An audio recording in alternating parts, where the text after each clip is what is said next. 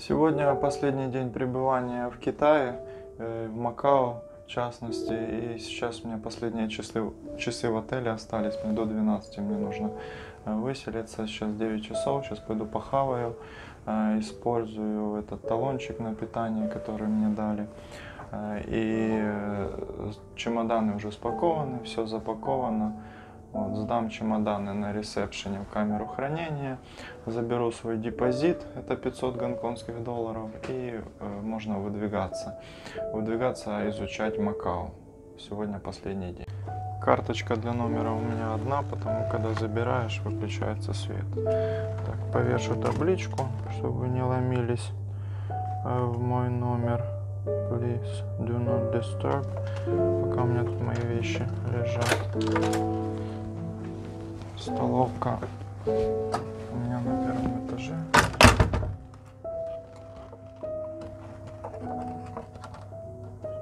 Please do not disturb.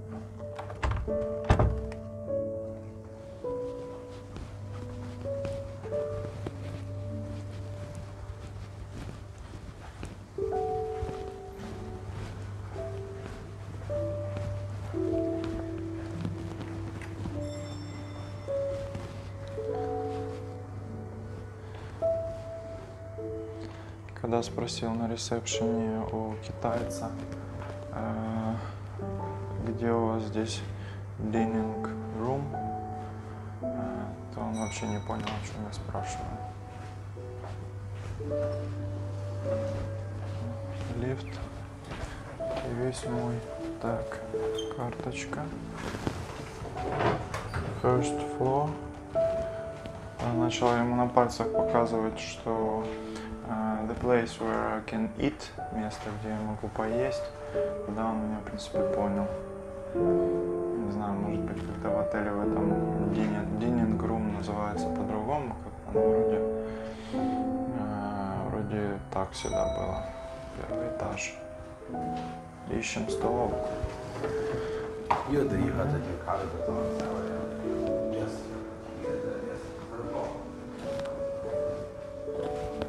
этаж вообще не похож, что здесь есть dining room, здесь тупик.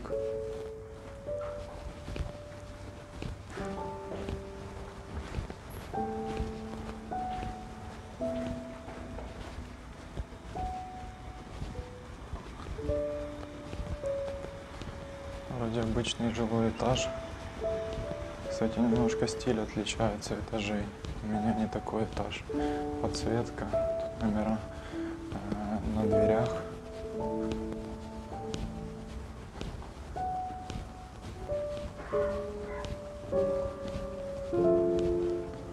Да нет, походу нет. Денега тут. Походу нету денег. Спустимся, посмотрим.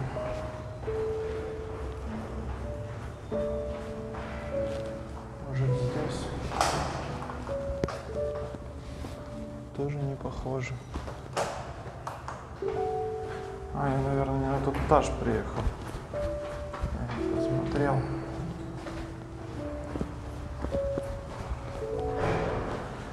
Какой этаж? Да, я не туда съехал. Это вот первый, кажется.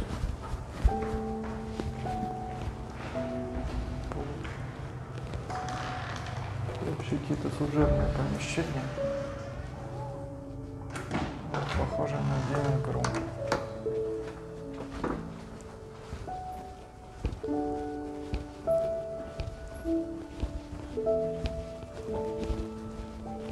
Как-то темно, не похоже на то, что тут кто-то кушает.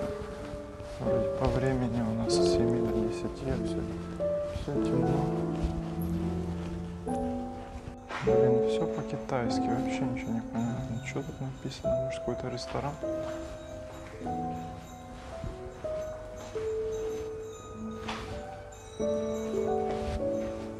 Ладно, идем на лобби спрашивать.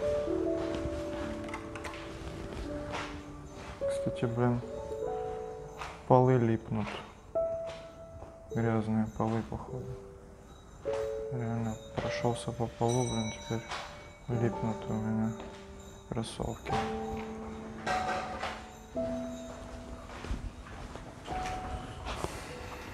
Так, непонятно вообще. Сейчас спрошу еще раз, где покушать.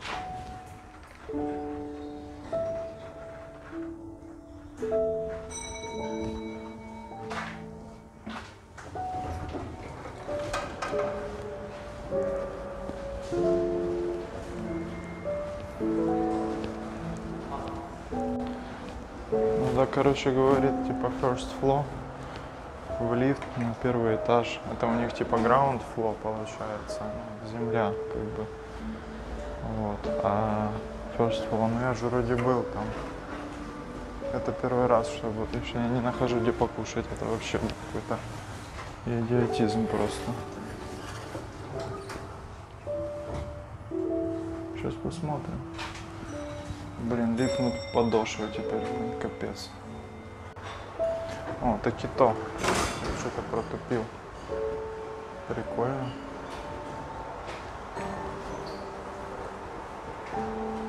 Breakfast basket.